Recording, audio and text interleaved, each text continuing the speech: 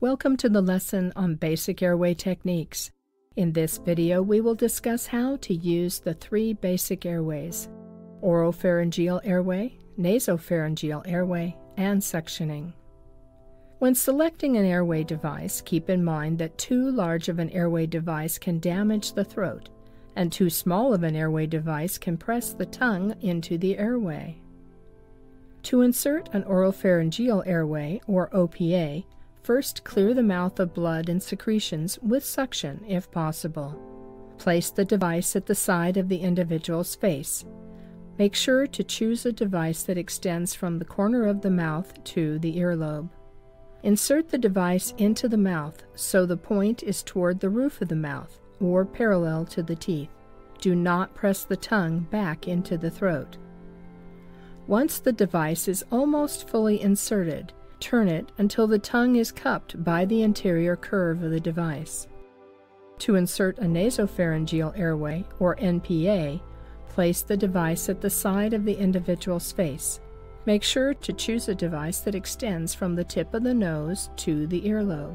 Use the largest diameter device that will fit. Lubricate the airway with a water soluble lubricant or anesthetic jelly. Insert the device slowly into a nostril, moving straight into the face, not toward the brain. It should feel snug. Do not force the device into the nostril. If it feels stuck, then remove it and try the other nostril. Here are some tips on suctioning. When suctioning the oropharynx, do not insert the catheter too deeply. Extend the catheter to the maximum safe depth and suction as you withdraw. When suctioning an ET tube, remember the tube is within the trachea and you may be suctioning near the bronchi or lung. Therefore, sterile techniques should be used. Each suction attempt should be for no longer than 10 seconds. Remember, the individual will not get oxygen during suctioning.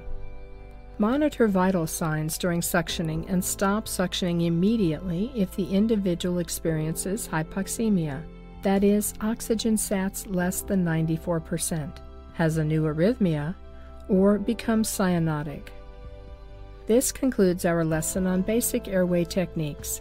Next, we will review advanced airway adjuncts.